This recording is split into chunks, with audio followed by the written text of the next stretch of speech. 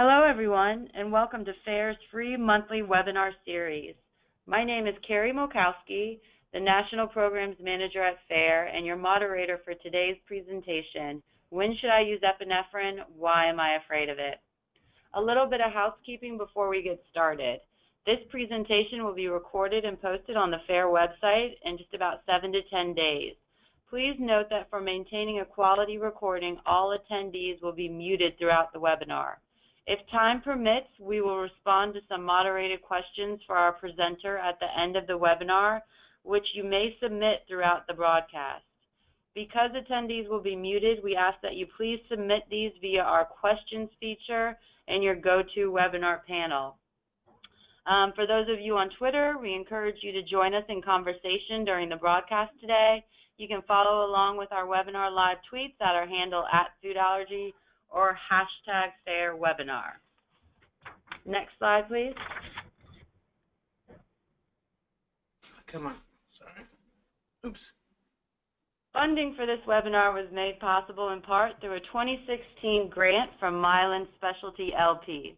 We thank Dr. Spergel, who serves as a guest speaker for this webinar and does not receive any compensation for his appearance. While Dr. Spergel is not compensated for his work, he does receive our sincere appreciation for his time and efforts to help educate our community. Next, we'll see that our key speaker today is Dr. Jonathan Spergel. Dr. Spergel is a member of FARE's Clinical Advisory Board Executive Committee. He is the professor of pediatrics at the University of Pennsylvania Perelman School of Medicine and chief of the allergy section and director of the Center for Pediatric Eosinophilic Disorders at Children's Hospital of Philadelphia. Dr. Spergel is a fellow in the American Academy of Allergy, Asthma, and Immunology, the American College of Allergy, Asthma, and Immunology, and the American Association of Pediatrics. His research interests have focused on all aspects of food allergy and atopic dermatitis. Some of his important works was the identification that peanut allergy can be outgrown, identification of genetic risk factors for eosinophilic esophagitis, commonly referred to as EOE, and the role of basophils in EOE. He serves a large role in advocacy and teaching. He has been a member of the Medical Advisory Board for American Partnership for Eosinophilic Disorders, International Association for Food Protein Induced Enterocolitis, and Food Allergy Anaphylaxis Connection Team. He was chair of the Allergic Skin Committee of Quad AI. He has published over 130 articles in the field. He has also spoken at national and international conferences in the field of eosinophilic esophagitis, food allergy, and atopic dermatitis. At this time, I am very delighted to turn the presentation over to Dr. Spergel.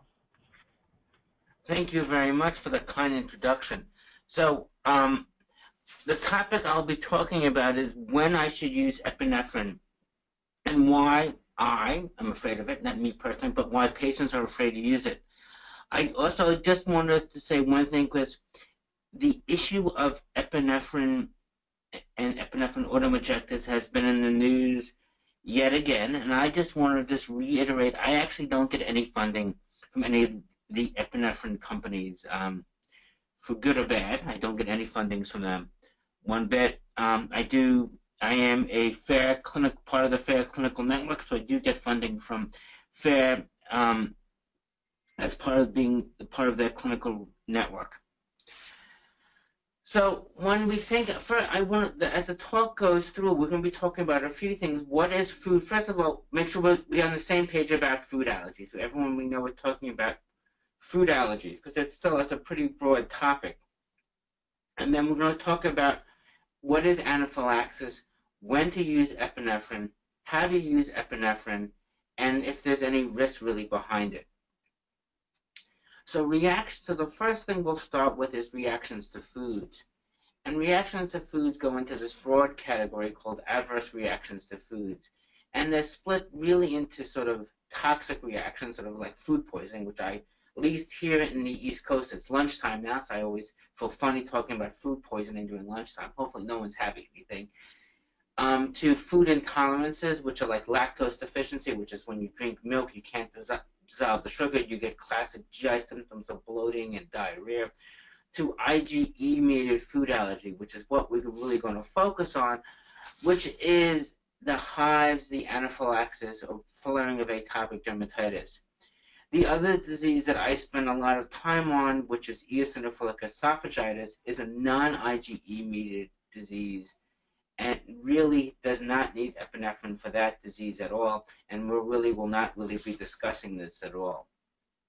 When we think about, the worst thing we think about is food fatalities. Unfortunately, they are a real thing, and they do happen. The exact frequency is a little unclear because there's no great reporting way of doing it. Most of the effort comes out of looking at ICD-9 or ICD-10 code, which is the coding doctors put in, in medical records when they see an alert, when they have a reaction. If people don't code it right, we don't know those things exist.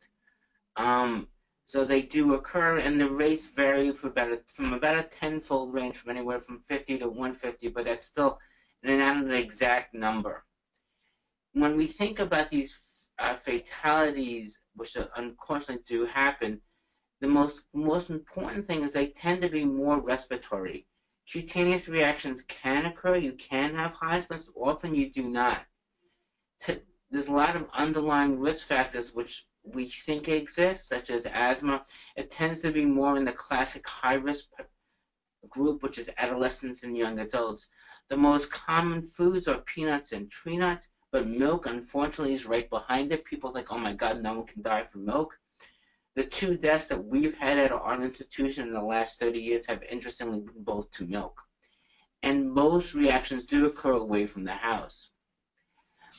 Um, this article recently published by Paul Turner and his colleague um, looked at the rate of anaphylaxis and looked at the rate throughout the um, three large English-speaking groups United Kingdom, United States, and Australia.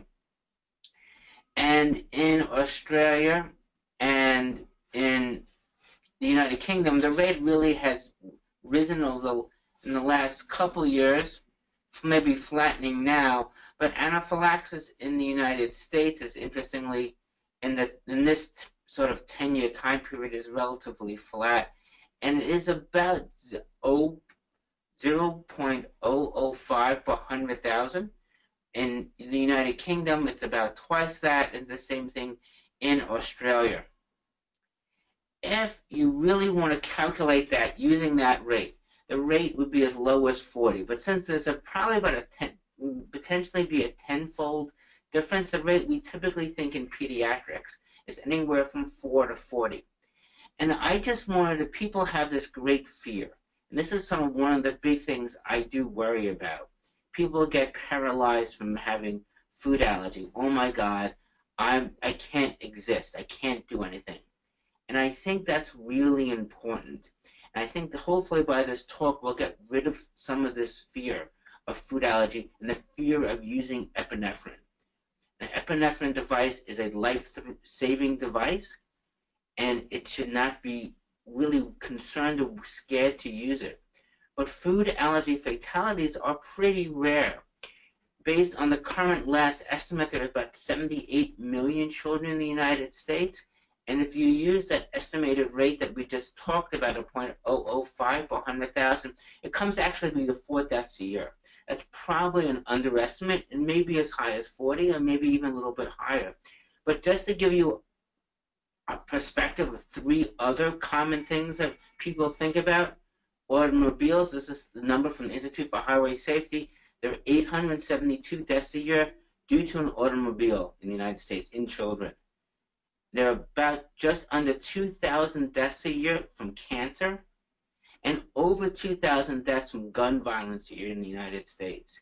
So food allergies is, ser is serious and it is definitely preventable. But as you can see, there are many more likely ways to die as a child in the United States than food allergies. So I think it's important to have a tremendous amount of respect for food allergies, but not be like, oh my God, I'm going to die when I walk outside the house from it. Okay, so when do we when do we worry about when what's our when do we need to use that epinephrine device? When do we use when do we need to use what like we like to say epi? We use it for anaphylaxis, and this little blurb you can see the pictures is actually right from the food allergy, from the anaphylaxis plan, right from that FARE has created. You can have anaphylaxis can occur within seconds to after eating a food to up to maybe two hours, but typically it's early on. And the symptoms can really vary. And obviously, the things we worry about is wheezing, unable to breathe, having difficulty with your heart rate, unable to swallow, you can get swelling of your lip, you're going to have hives, you can have repeat vomiting, or you often, one of the more common things is, oh my God, something terrible is happening. But a lot of patients, that one I always worry a little about because there's so much fear. Some patients really um, have this, just get scared and it's not a problem. We just had a patient recently who had a had such a severe fear reaction, they developed something called vocal cord dysfunction, that their airways, they involuntarily closed off their airway due to anxiety and ended up being hospitalized in the ICU until we realized that, hey, this was just being nervous. So you have to be sort of be careful about that. It never hurts to be overtreat because the medicines we will epinephrines are very safe medicine, but you need to be careful when you're having these typical reactions. And we do, we'll go over which one we would typically treat for, but usually it's any of these severe reactions or a combination of these severe reactions. The question is people always ask, can we predict? Can I predict what reaction comes what? And this is data that we published a while ago, and this it's seen in every single study that whether you look at food-specific IgE, the immunocap, what people often call it the RAST testing, or skin testing, they do not predict a reaction. This is skin testing we looked at our institution when we did food challenges. So this is a very controlled situation, so we really know what everyone's getting. As you can see, there is a slight difference. The patients who had anaphylaxis on a food challenge had slightly bigger skin testing but actually, there's there's this all not significantly significant. There's such a large overlap in numbers, nothing can tell. And some of that's due to the fact, as you can see, all the things I listed below can cause anaph- change the severity of reaction. You can think about it even from like a food, whether you drink a sip of milk or a, ga- or a glass of milk, or one peanut or a whole peanut butter and jelly sandwich. The amount of reaction probably will change the intensity if your overall health is bad, if you're particularly sick at the time, you're much more likely to have a severe reaction. This is what we know from allergy shots. We've been doing allergy immunotherapy for, for 100 years. We don't give allergy immunotherapy when someone's sick because the reaction is going to be worse. Um, whether you're fasting, whether you have alcohol, which changes things, exercise, stress, other medications such as NSAIDs, all which can change the severity of a reaction.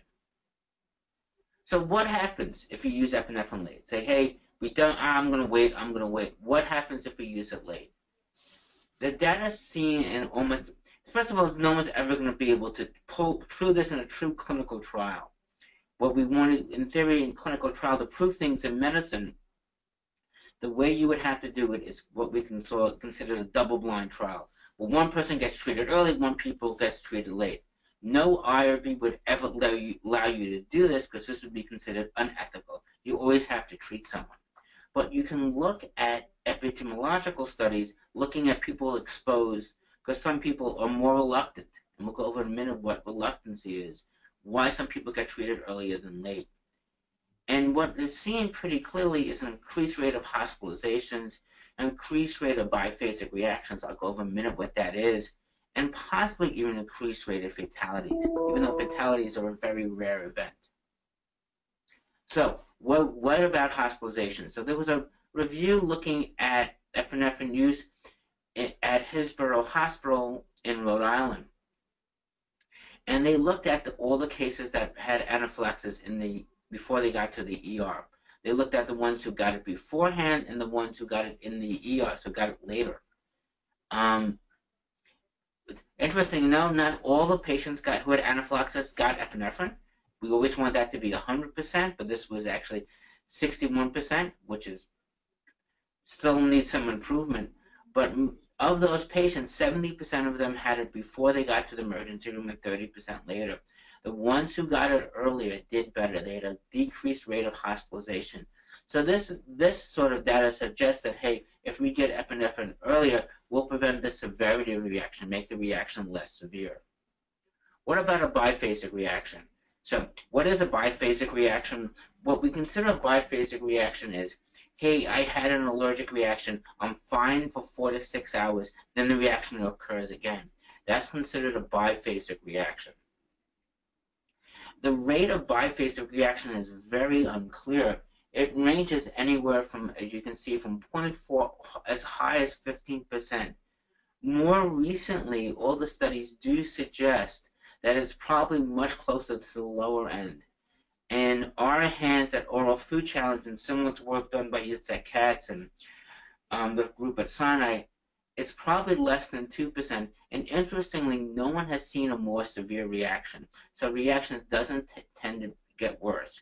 In the clinical trials of oral immunotherapy, there have been no reported cases of biphasic reactions recently. Um, in our institution, we recently have a manuscript that's under review that looked at the rate in our emergency room because oral food challenge people think, hey, that's maybe a lower rate, but in our emergency room now, now it's considered less than 1%, so it's considered pretty rare we looked at the risk factors for this, looking at in the emergency room, looking at oral food challenges. The only thing that makes a difference for these rare events is the use of epinephrine. So potentially, if you give epinephrine later, the risks increase. So really suggests that, hey, by giving it earlier, you'll get less hospitalization, which is probably counts for most of the most of the, which is probably due to biphasic reactions or decreased risk of biphasic reaction. So it tends to potentially make the reaction less severe if we can treat it earlier. So basically, it says you need to treat anaphylaxis. And we'll go over what is anaphylaxis in a second. But in generally, if you have anaphylaxis, you need to treat epinephrine. It's pretty clearly that seen in almost every every single study. It is a, a life-threatening way to treat an anaphylactic event. So what does epinephrine do? So epinephrine really does two things. It works on both an alpha and a beta receptor. And what it does is it makes the veins come tighter, causes vasoconstriction, which increases your blood pressure, which relieves the hypertension and shock. It also decreases the edema in the upper airway, relieving airway obstruction. It also works on a beta receptor, which causes BD, which is bronchodilation, leads to decreased wheezing, and also decreases in mediator release, and actually helps with the hives that patients do. So it's generally a, so it helps everything for a patient, so it's really such a, a great medication. So this is a little video. I hope it will work. We tried it earlier on, going over a, a video of what we think happens in anaphylaxis. This is a young child who ate something by mistake and he's now getting sort of itchy mouth, his eyes are getting red, a little runny nose, and often that's what happens with the reaction. The symptoms start to occur often with such a mild symptoms, and sometimes with such a mild symptoms of these itchy eyes, you may just give an antihistamine. From a molecular side, you have these food antigens coming with these. Those, those are the flying particles you just see. They, they bind to an IgE receptor, which is that Y-shaped molecule, and what happens then when they bind these Y-shaped molecules, they release all these little cytokines and chemicals, and this is now going in through the blood vessel here. And as they go through the blood vessel, they penetrate, they sort of cause different things that happen in the blood vessel. They can cause the blood vessel to dilate and not and leak fluid, causes edema. You can cause the tongue to swell, as you cause here, which causes airway problems. It also can cause your, your airway to get more narrow, making it difficult to breathe. And this is what's happening here. This person's young boy's mouth is open, getting more systemic symptoms, and this is when you really need to use epinephrine. So, the question is, why are people afraid to use it? Um, this was a study done by Bob Wood, and he really looked at why was this fear of epinephrine? Why do people lack to use it? And it really looked at, it was an, a survey done called Anaphylaxis in America. And interestingly, they looked at a group of patients that had two or more episodes of anaphylaxis. And it was interesting, less than half had an emergency action plan. Only a third attended to use it. 50%, just over 50% didn't even have epinephrine, and 60% didn't have epinephrine available with them. So there's a huge number of patients who's like, hey, I don't have it, and I don't want to use it. The question is why? Um, and this is also go, going over more of that data, that it really is typically underused. Only maybe a third of the patients who had epinephrine actually got it. And we talked about the, the rate published data from Hugh Sampson published that was, that's the, in the fatalities, it's usually due to a delayed use or inappropriate use along those lines. So where's the fear? So this was a study published a couple of years ago out of the group in Montreal by Chad that looked at just over a thousand patients who were, why didn't they use use epinephrine? And they asked why not. And they came, patients really had three reasons. One, they were afraid to hurt the child. The second main reason they were afraid to, where they thought they were going to use it wrong, or they thought something bad was going to happen. Interestingly, the most common reason my patients say they don't want to use it is because, oh, I'm going to use this medicine because we always tell them that you have to use epinephrine, then you have to go to the emergency room or go call 911. And my patients usually feel, oh my God, the medicine's dangerous. I'm, I need to go to the ER because I use the medicine. No, it's not because you use the medicine, because you had a severe reaction. is why they want to go. And some of my patients tell me they don't want to go to the ER and sit around and wait. So those are the other reasons people have also said why they don't want to use an epinephrine autoinjector. So will will the needle? What about hurting the child? Does it hurt? Will it damage the leg? Will the needle hurt the child? So, in short, I've asked all my patients, does the needle hurt? Everyone who's used it, we use it epinephrine a lot in our food challenges. We've never had a patient actually say it hurts. We've had patients inject themselves by mistake with a device as they're teaching someone how to use it, and they're like, oh, I thought that didn't feel anything. So actually, actually using the device is particularly not that painful. Will it damage the leg? It shouldn't. You got to be pretty incompetent to damage a leg. So the answer is it's really a safe device and doesn't cause much damage. What about side effects? So almost all the side effects are from IV use this was a study published in by Campbell, who's really one of the ER mavens, about the use of epinephrine published in JACI in Practice earlier, late, late last year. In the IM dose, this is the typical things you see. You'll see an increased heart rate, which is due to the effects of epinephrine. You may get some pallor and sweating and tremor. You also get mild headache and nausea. That's what you're going to see. What about things people talk about, arrhythmia and hypertension? There have been no, this is looking in the ER. There have been no cases of arrhythmia. We actually spoke to our cardiologists about this several several years ago, and they say no, we treat epinephrine. We used to treat arrhythmia, so it's not really a major issue of cardiac effect. In adults, we're worried about an angina or chest pain or more cardiac arrest. There's been one episode with a double dose of IM epinephrine and 0.8% of the cases had blood pressures greater than one, systolic greater than 120. They don't have baseline, so many of these people also may have had long-standing elevated blood pressures, and almost all with double doses of IM epinephrine. So I think this the issue of arrhythmia and hypertension is really not a major concern, and I really think there's no major effects of epinephrine. So what about using it incorrectly? Where's the big fear? So back in the early 2000s and late 90s, there have been several surveys, and it was really sort of astonishing how poorly people knew, whether physicians and patients. I think we've we'll go over that in a second. We've gotten a little bit better, but back then, only 25% knew that epinephrine the epinephrine devices came in two packs. Um, only about half the patients had an epinephrine autoinjectors with them, and only a third knew how to use it correctly. So when we've looked at the cases received epinephrine, there have been two two studies that shows that the work done by lots of people have really made a difference in the last decade. About a, a decade ago, in, the, in 2007, only two, just under two thirds of the cases of, of anaphylaxis actually got epinephrine in the emergency room. Now the numbers up to in the most recent study published this year is up to 97%, and most patients actually got it in the field. So it's significantly better. However, we still have a long way to go.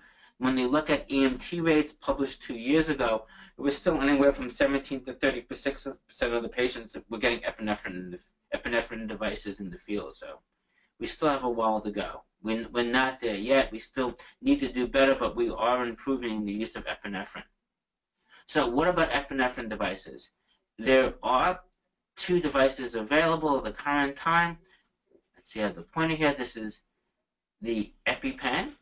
This is the Avi Adrenaclick. And then this is the old Auvi-Q. The Auvi-Q is coming back, some, returning sometime in 2017. The exact date I was told it was early 2017, but I don't know.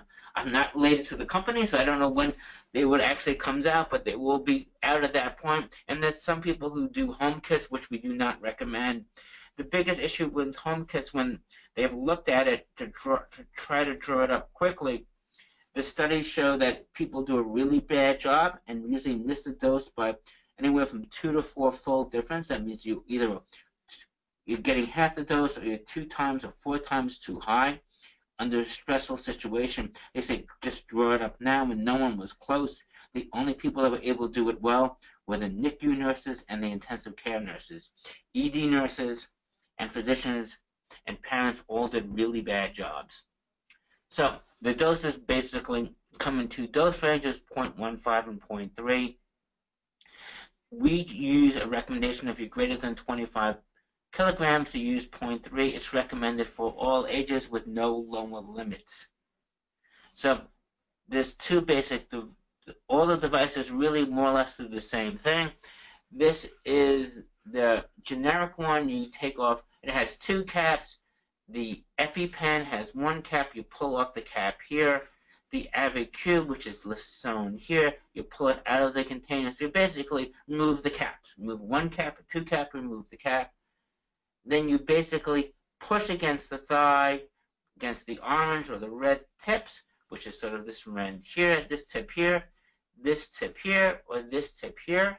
You push against the other side and hold anywhere for 3 to 10 seconds, depending on the device. They're probably to be the same for all of them. They do have slightly different directions, and then you should call 911 because you've had a severe reaction not because you used epinephrine. Epinephrine, well, basically, you'll get you'll you'll be completely better at that time by the time they come. But you had a severe reaction, and some patients have what we call prolonged or protracted, that they need more than one ep epinephrine device, or they're far away from medical care. So it's important that they use it, that they call for help to make sure they get evaluated. How does it work? I mean, this is just epinephrine. As you can see, it goes down, you saw the medicine go flying down. You just push down your little click, and the medicine goes flying down through the needle. People will also say, hey, I forgot my epinephrine device. It's an old device. Now, here's something the FDA hopefully won't yell to me much about, but how stable is epinephrine? And I know the pharmaceutical companies don't want to hear this, but it's really stable. So there have been nine studies that looked at it. One study said, okay, we're going to leave it at basically for one month at basically just above freezing, or actually put it below freezing for 16 hours. And then they measured how stable the epinephrine was. No difference. Someone left it out. They looked at emergency vehicles that, that were just left in, in the emergency vehicles figure, measuring how hot and cold it was. Nothing. It seemed to be fine. What did cause a problem, though, was you put it at really high temperature for 100 hours, so you start boiling it. You leave it in, in out in the boiling in your in a hot car, or in the put it in the oven, you're gonna have problems. But even at 40 degrees Celsius, this was done at some places down in in uh, Southeast Asia, where it was really hot all the time, had no effect whatsoever. And they've looked at up to two years past the expiration date. It is stable. So um, FARE may be, I don't know who might be accept angry if I tell people this, but this is what I tell pa pa patients as I am not doing this as as an independent person here. We tell patients the school wants the one with the expiration date that's valid. Keep the old ones for you and your grandparents because they'll be good for about two years. When those expire, use new ones. So it will save everyone a few dollars that way. So here's the anaphylaxis plan. This is the one that FARE has developed. And typically they're all about the same. I'll show you one we use at our institution, which we publish through our, we get through our medical medical records, so it's a little easier for us to use, but they're all basically the same. It has the name, what you're allergic to, what the weight is, and then whether you have a severe reaction, what to do when you have a severe reaction, when you have a mild reaction. Typically for the severe reaction, the symptoms that I talked about earlier, whether you're wheezing, are pale, trouble swallowing, trouble breathing, swelling of the mouth, repeated vomiting, um, then you need to use epinephrine and call 911. For milder symptoms, whether it's runny nose, hives, just nausea, often you can just get away with just an epinephrine, just a simple antihistamine. Sometimes you can get by, if you have a couple of things that things are progressing, then you need to do it. What's the most controversy is what to do if you if you have no symptoms and that we'll go over in a second. So this is our plan, which more or less says the same thing. We have our bold ones, the same as the severe ones, but in bold. Our big advantages, these come out of our medical records, so it's easier for us to do electronically. Um, but again, severe reactions, similar sort of things, whether use of antihistamines along those lines. So, when we think, think of both symptoms, which is the same as the FARE one, is if you have severe swelling, your tongue is swelling, unable to speak, your throat is tight, shortness of breath, rapid breathing, coughing, wheezing, repeated vomiting, and obviously if you're at loss of consciousness, then you need to use epinephrine. I don't think anyone in the world would disagree with you on that one. This is sort of general consensus. This is severe anaphylaxis, and you need to use epinephrine, and then call 911. The mild symptoms. This is where some people say, hey, there's a little more controversy, and this depends a little on each individual patient and your unique circumstances. So these are general guidelines, but your provider may tell you, hey, you have other risk factors, as we talked about before, where you live, what sensitivity your doses are, how well controlled your asthma is. Typically, when you have just isolated hives, or a simple abdominal pain or runny nose, or stuffy nose, typically most people say just to use antihistamines. Um, when things get worse, as things progress, then you need to give your epinephrine. But typically for these symptoms, we will just give a antihistamine, just an isolated reaction. So really this is sort of a key slide here. When do you do it? So, and this is that person, the first bullet points a really important caveat because this really does change things from from from your nose or probably not to yes. If you had a previous severe reaction, or know that a trace amount will end that you'll be in the intensive care unit, that you had anaphylaxis from a small amount, then in that scenario you probably want to use epinephrine for almost everything. For you or like the patient that hey had a trace amount of milk, a baked milk and a cookie, and I ended up in and ended up in the intensive care unit, then yes, you did. Or when you had that, you ate a that muffin that had a that some that had egg baked in it, and you ended up you passed out. That patient you need to be much more aggressive for. But if someone just ate a took a bite of peanut butter a peanut butter cookie and just had three hives, that's probably you can be not as aggressive. So that's why when you have a potential exposure that you ate a cookie and you're not sure whether it had foods that you're allergic to, milk, egg, and peanut, typically we don't say anything. It may have been a fine cookie. Don't worry about it. If you get symptoms, then do. So another second scenario.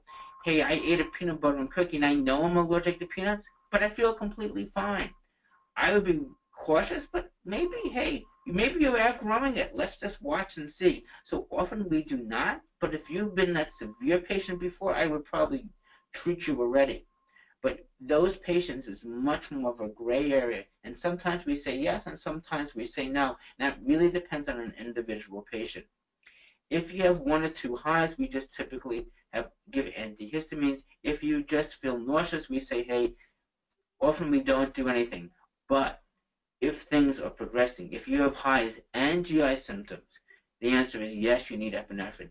If you're wheezing, you feel dizzy, you feel lightheaded, you have trouble swallowing, things are getting worse, please use your epinephrine device. There's never a wrong time to use it. It is the world's, it's a great, safe medicine. So you can never say not to use it, but for sometimes for an isolated one hive, it's probably not necessary. So, there is a tremendous fear in the use of epinephrine, and a lot of people are really scared to use it. So when to use it, if you have anaphylaxis, there is no question to use it. How to use it is pretty simple for all the devices. It's removing the cap and pushing it to it it clicks, and then you hold for three to ten three to ten seconds. There are no side effects to worry about. Don't really worry. Should it be only used for severe reactions? The answer for that is no. But it's only those patients who probably have had severe reactions before, but it doesn't need to be used on one to two highs consequences. Do I really need to worry like, hey, I'm afraid to use it? You don't be afraid. It will save your life, but don't be afraid of food allergies. Having food allergies should not be who you are. Food allergies, you just need to have some level of caution. No matter what you have, you should be able to live your own life and don't let food allergies run it. Let you run your own life. I think that's a really important message in terms of along those lines. I've been, I've been talking for about 40 minutes now, and I'll save the last 20 minutes or 10 to 20 minutes to any particular questions or concerns that some people have. And I'll give it back to our organizers over at FARE. Great. Thank you so much, Dr. Spergel. That was that was really informative and such a great overview of just epinephrine itself um, I, I, truly believe that it will help a lot of people overcome, you know, many of the fears of using epinephrine, um, especially at the end when you were clarifying um, when to use it. So we have some really engaged listeners, which is always great, and we got some questions. So I will begin. Um, okay. So someone wrote in and asked, how soon after epinephrine is given should I get my child to the hospital? How long basically does epi buy me? Um, no one has. So the, it's a great question. Is because the answer is no one. No one really knows. So because I think everyone's anaphylaxis is a little bit different. Some people have really severe because it depends on all the factors we think that makes anaphylaxis worse, right? Whether I ate a whole bag of peanuts or I ate one peanut or I ate a half a peanut. So I think that matters a little. Typically, epinephrine we the the classic teaching is 10 to 15 minutes. But I okay. Think, I think it really depends. Some patients, I would say for the vast majority, that's all you need. You have time. But there is there is a small cohort that will that needs a second one quickly. Okay, great. Thank you for clarifying. That's a great answer. Um, another question that came through is there any downside to administering epinephrine if it actually turns out um, not to be anaphylaxis? No. So no. So okay. So the answer is no. I mean, besides the use of the, the use of medical resources from a pa individual patient perspective, no. It costs dollars, but besides that, no. Great, thank you. Um, I know you mentioned this kind of early on in one of your slides, but if you could, could you speak a little bit more as to why fasting could possibly impact a reaction? Um, is it because reactions vary based on an empty or a full stomach? Does that have anything to do with that? Exactly. Um, so depends on absorption through your stomach, and that's why we think sometimes exercise may um, changes things, and same thing fasting versus not fasting. When you're fasting, we think empty stomachs will absorb things faster. That may get better absorption in an empty stomach. Um, fatty meals tend to leave things more delayed because things take a while to get absorbed. Um, they're based on oral immunotherapy studies, and looking at those reactions, we know exercise and actually going to hot tubs, anything that raises your core body temperature, tends to make you a little react worse because we think you're vasodilating, your blood pressure is a little bit lower at those times, um, or you're circulating your blood products through faster. So there's all those are potential reasons, but we don't know the the exact answer. Okay, thank you for that. Um, someone wrote in and said that she often hears people say they have quote a mild food allergy. Um, given that we know reactions are unpredictable and can vary for the same person from reaction to reaction, is there really anything such as a mild food allergy? Um, it's an interesting question. So the answer is probably what I would qualify as a mild food allergy is the patient that's almost outgrown their food allergy. That hey, that we, we at least we think over time that as you grow out, you're becoming less and less sensitive. That hey, they used that they can they only react at really large quantities of food. So maybe is that considered a mild reaction? Maybe, um, but the, the person is completely correct. We don't know. There's too many variables to, on to predict a reaction. But there are some patients who probably will only ever get a mild reaction we have no idea how to predict that at this current time. That hey, they would only be mild because we just don't know. We're trying to figure that out, but we cannot tell at this point. So yeah, if you ask me a couple of years from now, I might be say, hey, you have this phenotype. Yes, you would only get mild, but we cannot predict that. We cannot determine that right now. Okay, thank you. That that definitely makes sense and clears things up. Um, another question when your child has a reaction and you are actually close to the hospital, what are the trade-offs between calling 911 or driving to the hospital yourself? Um, if you can drive to the hospital faster than the ambulance can get to you, um, what's your advice? Should you? Uh, tricky, tricky question. Um, the general recommendation is never to have a parent drive a child when a child's reacting in the back because the parents probably will be too nervous about the child and get and you worry about getting in a car accident because they're too worried. Oh my God, my child's reacting that I have to hurry and won't drive rationally. Um, so, the general recommendation is to wait, is get the ambulance, but there's always a caveat to it. I mean, if the ambulance is going to be a half an hour and, and you can get there in two minutes, it's probably faster for you to drive. I mean, you don't want to wait for the ambulance to come if they're far away. So you, it, that one you just have to be to personalize the answer to the exact situation. Okay, yeah, thank you. That definitely makes sense and kind of depends on the person and the situation. Um, here's a, another question that came in. Do you know, is there a risk of injecting epinephrine into a toddler's bone because their legs are so small? Um, I no one's ever seen it actually. Um, I, I don't. You don't. I mean, you pull up the you pull up the when you grab the thigh, you pull it up and you go into the area that's subcutaneous in the muscle. Um, you would have to push really hard to inject it into a bone. The needle would probably break. Um, but in medicine, anything is possible, but I don't think that anyone's ever seen it. Okay, thank you. Um, one listener asked, is there a downside to not giving antihistamines for for mild symptoms? Like, could possibly not giving them make a reaction worse? Uh, no one's ever looked at that. So I was at a big, a big world allergy meeting this weekend, and we were debating that, and no one knows.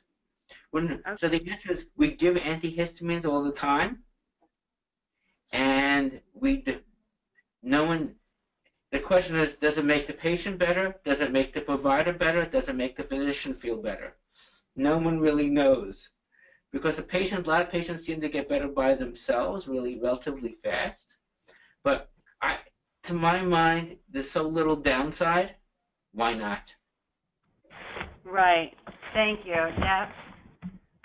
Um, so you talked about, I think in one of the, the first slides, we were talking a little bit about fatalities. I don't know if you know maybe or you've come across in any of your research um, or your colleagues, do you know why there is a low rate of food allergy fatalities in general? Um, no, no, I don't think anyone knows why it's low. I think it could be from several reasons. One, so I think there'd be three. There's three possible reasons. One is that people are really careful and are cautious, so they won't. They read labels and they're careful. I think the second main reason is that um, people have, better, have gotten much better using epinephrine devices, so they use epinephrine and they save people's lives. The third potential reason is people may self-limit behavior. They know all the patients, we look at our peanut oil immunotherapy trials, all of them hate peanuts. So people may not want to eat allergic food. They really eat limited amounts of an allergic food. That's a possibility. And the fourth one, which is no one really knows, maybe anaphylaxis leading to fatalities is just a low event. It doesn't happen well. Your body releases enough epinephrine that it saves most people. People recover by themselves, potentially. But that's no one would ever know. That's a study that that's impossible to figure out. Okay. So Thank you so much. Yeah, those all sound like fitting possibilities, definitely, without really ever knowing.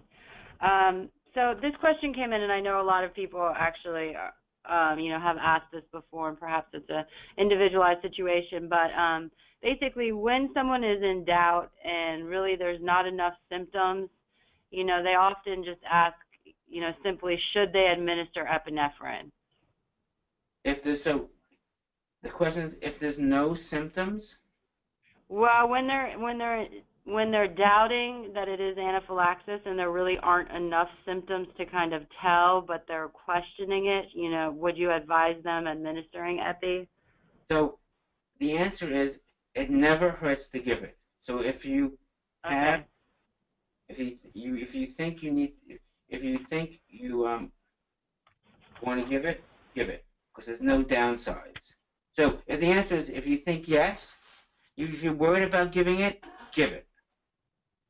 Okay. So, yeah, I, that tends to be my advice. If you if you think about it, it's like we often in medicine. If you think about doing a lab test because you're worried about something, you better do the lab test unless you can rule it out. If you think it's anaphylaxis and you think it might be, just give it because there's really no downside besides the, okay. the medical course. Okay, great. Thank you. Uh, that'll clear things up for a, a lot of people, I'm sure. Um, another question, if we use one um, epinephrine autoinjector, how long should we wait for the symptoms to improve before giving a second one? You should see a difference within 5 to 10 minutes. Okay. Usually it's much faster, but sometimes it takes as long as 5 to 10 minutes. If you don't see improvement in 5 to 10 minutes, then I would repeat. Okay, great. Thank you. But, um, my only comment is that if you get someone had hives and coughing and vomiting, you give epinephrine. The coughing and the vomiting has stopped. You you they may get flushed, or they have an increased heart rate. They may get tre- tremor just from the use of epinephrine, and the hives may be the hives sometimes take longer to get better and that stomach ache may take longer to get better. So as long as you're improving in the right direction, you probably don't need the second dose. But okay. you you have to really sort of say, hey, wait and see. Okay, great. Thank you. And and thanks again for answering all these questions. Um, you know, people are really engaged and they have some good ones. So um, a couple more, if I may. Um, is it normal to continue having breathing problems a day after a reaction? No. Okay. So if you're breathing problems a day later, you have a diff- that's probably either you have a cold or a virus or asthma. Okay. Thank you. Reactions um, that long. Okay. Do you know if going through an X-ray machine at the airport can um, uh, damage an epinephrine auto-injector? I've never heard heard that. No, it shouldn't. Okay. Thank you. I don't think we've heard of that here at FARE as well. Um, another question came in. Is there any risk of overdosing on epinephrine? So, um, in the, all the studies that looking at epinephrine overdoses, it's really people. So, in some adults who've done two doses of epinephrine, which may have been an overdose, there have been a couple reports of elevated blood pressure and a couple reports of angina or chest pain with two doses of epinephrine in the in adults. There's really been nothing seen in children. However, if you do IV epinephrine, the answer is yes, but no one's giving IV epinephrine, I hope, in this group. That, that means that's sort of, if you're doing IV epinephrine through an, into, into an infusion into your vein, is a whole different story. Okay, thank you. Um, another question is an EpiPen Junior safe to use even if the patient is under the weight that is advised? So, so this this really depends on your provider and your individual use of your child. Um, so we tend to say yes. There's a very few exceptions that we don't. I know in our neonatal, the, neo, the NICU or neonatal intensive care unit, they don't use epinephrine EpiPen devices. They draw it up just due to the size of the child. But anything outside of that age group, they tend to at our institution. But I think that's really depends on the child and the how how little the the newborn is. But for the, okay. for the vast majority, no. Great, thank you. Um, I think we have time for maybe just a few more. Um, in your expertise, do you know can antihistamines mask the symptoms and possibly prevent the recognition of anaphylaxis? No. Okay. Okay, and I think we have one more. Um, do you know why does epinephrine sometimes not work if it is delayed? What we think why it doesn't work when it's delayed in the cases of severe anaphylaxis is due to a couple things. The most likely scenario is that they've had so much release of all those mediators, all those little chemicals that come out, that you it doesn't it, there's too much for the epinephrine to counter interact. There's too much too many mediators out there. By doing it early, it blocks the release and blocks the effects. By doing it late, all the mediators are released already, and it makes the effectiveness not as good. And sometimes the other reason is when you have so much late, and these are like in, we're talking the severe episodes where they've had severe episodes of anaphylaxis. They get lower blood pressure, and then at that point you need not only epinephrine, you need IV fluids as well. So you you've sort of gone past the point when where epinephrine by itself is just going to do the trick. You need to get IV fluids in as well. Great, thank you. And if I may, I'm really sorry, just because we've got you here, if I can ask just one more question. Um, it just came in, and we actually receive it a lot. Um, do you have any idea how sports, how can sports impact a reaction? So what we think is doing, so if this is more from oral immunotherapy trials. So and this is just looking at the reactions of oral immunotherapy trials, looking at along those lines, because they're probably our best controlled things. So when we do oral immunotherapy trials, as everyone knows, you try to desensitize someone, give them something they're allergic to, and you see allergic reactions all the time. And this is obviously done on, clinical, on research studies. And when we see our reactions, people sort of out of blue to get reactions, they typically occur when things that increase body temperature such as exercise. Whether it increases absorption, it, increases thing, your heart rate, so everything's going around much more. All those are potential things that can cause things, make things worse. Okay, great. Thank you. We think Thank sports so make things worse. Perfect. Thank you. Um, you know, thanks to everybody listening in. Those were some amazing questions, and we definitely did our best to answer them in the order that they came in. And, you know, for additional information on epinephrine and anaphylaxis, you can head to our website. Um, I'd like to once again give a huge thank you to Dr. Spergel for joining us today and providing some really great insights about epinephrine and anaphylaxis you know, particularly why we may be afraid of epinephrine and how to overcome that um, through a better understanding. Um, there was a lot of great, great answers to a lot of really important questions from our community, and I really think, you know, you'll help people today run their own lives, like you said, and not let food allergy run their lives. So again, thank you, Dr. Spergel. That concludes our webinar for today.